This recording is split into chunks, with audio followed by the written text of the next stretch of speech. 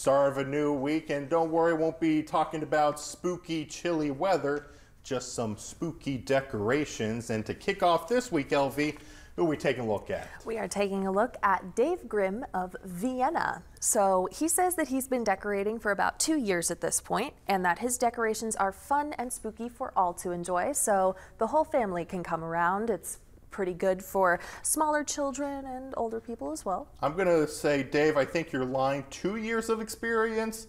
This looks like more right here. I mean, I mean, look at those fantastic decorations and the spider webs on the house. And then I think there is a little movie screen right there. Oh, that's so amazing. I think you're lying. I think it's more than two years of experience. These are some great decorations, Dave. an artiste. So Mr. what Grimm. else does he share with us? So he uh, he the main reason why he decorates is just to make sure that everybody can enjoy the Halloween season and that way they can just enjoy the decorations as a whole.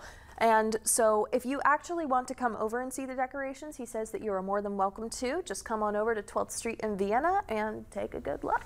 Yeah, it's And got so- some other decorations. Skeleton right here with the glowing eyes, and then also another one right here Mm.